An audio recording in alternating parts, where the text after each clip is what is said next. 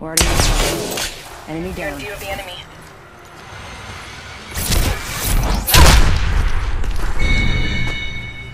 Got you. Hey, how's it going everyone? My name is Tricky Acid and welcome back to another Apex Legends video. In this vid, I am going to give my thoughts on the new Battle Pass that just dropped for Apex Legends and letting you know if it's worth grabbing or not. So let's get started.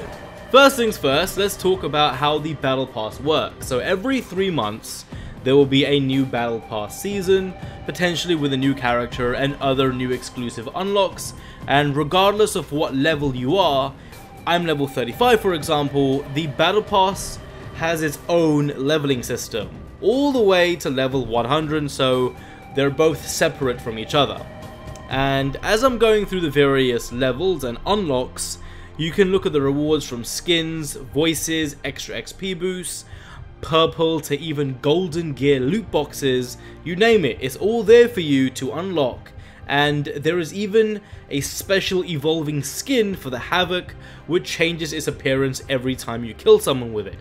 However, you need to reach level 100 on the Battle Pass to unlock it. But what is awesome is that throughout these unlocks, you also earn Apex coins, which is the microtransaction currency for Apex Legends. And if you manage to reach level 97 on the Battle Pass, you'll earn yourself back what you paid for the base Battle Pass in the first place. And then you'll also be ready to purchase the next season. So it's a nice way of saying, the more you play, the more you unlock, and the fact that if you reach a certain threshold, as in level 97 on the Battle Pass, you won't have to pay real money for the next one. So far, so good.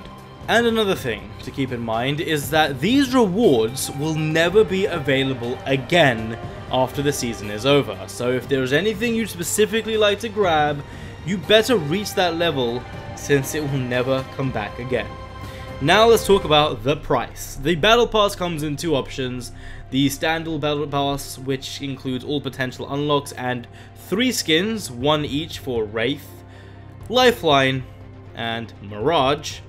And it's going for 950 Apex coins, which is the equivalent of nearly 8 pounds. However, if you go for the Battle Pass bundle, it's the Battle Pass plus you'll get an additional 25 levels added on, so you will have 25 levels worth of unlocks immediately, and you'll be ahead of those who only went for the base Battle Pass. However, you need to pay 2,800 Apex points, or coins I should say, to unlock that.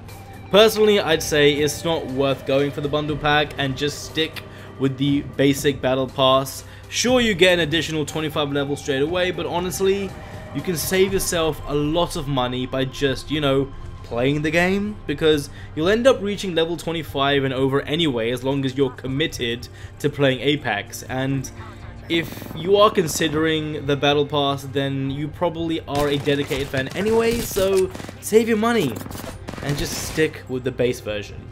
Also, another awesome thing is that thanks to the battle pass you can earn weekly XP for each character by just surviving. So the longer you stay alive in any game with any of these characters, you will earn up to 25,000 battle points per character, which will be used to help you level up the battle pass. And it's nice that it caps at 25,000 for each character, as it will encourage you to try different characters as well to take advantage of that extra XP. Octane is also the brand new character to the collection. He's high flying and he's super fast and I will have a more detailed video on him pretty soon so stay tuned for that. But with all that said, that sums up this video. There's nothing more to say really besides the fact that if you are going for the battle pass, save your money I'd say and just stick with the base version. But it's totally up to you and hopefully this video cleared up any queries you had on the battle pass. Be sure to like, comment below, and subscribe guys, and I'll catch all of you next time.